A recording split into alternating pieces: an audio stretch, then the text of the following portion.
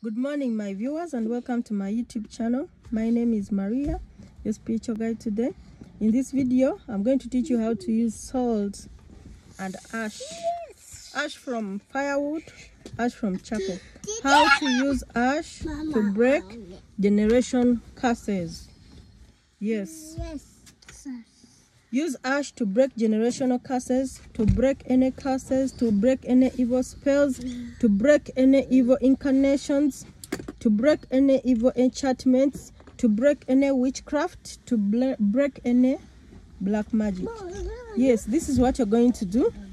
You're going to get your ash and salt, you add them to your bath water, then you set your intentions.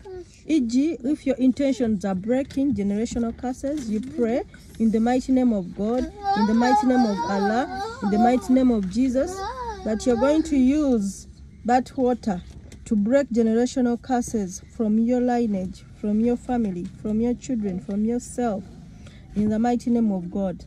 Then, after you pray according to your intentions and your need, and according to your faith, after praying, bathe that water Yes, bathe it without soap, without spoon, and bathe it as the first last thing before you sleep. Do that for the next three days. One bath before you sleep. Yes, then let God work.